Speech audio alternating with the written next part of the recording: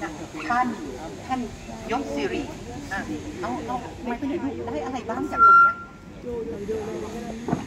คุณครูไม่อยากแชร์เลยเพราะครูคนอื่นเขาว่าครูบ้าไม่อยากพูดเรื่องนี้เลยนะ